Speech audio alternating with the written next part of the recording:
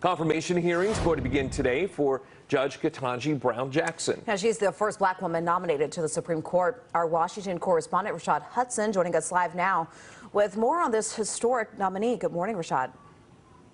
Good morning, Randy and Bill. Republicans say they plan to keep these confirmation hearings at a high level, meaning no personal attacks against Judge Jackson, but Democrats say the attacks have already started.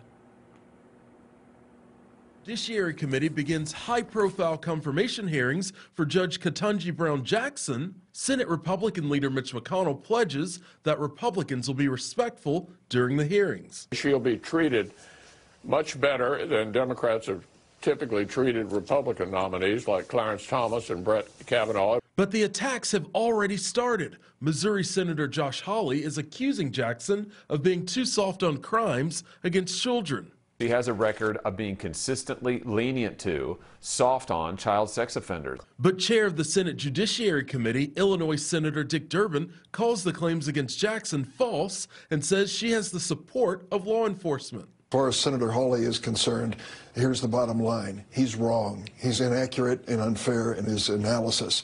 And the White House is also pushing back against the claims, calling their nominee an excellent choice.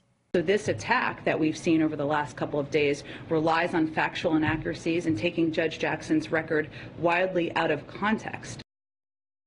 While Democrats have the votes to confirm Judge Jackson, they are hoping to win over some Republicans this week during those hearings. Reporting in Washington, Rashad Hudson, back to you.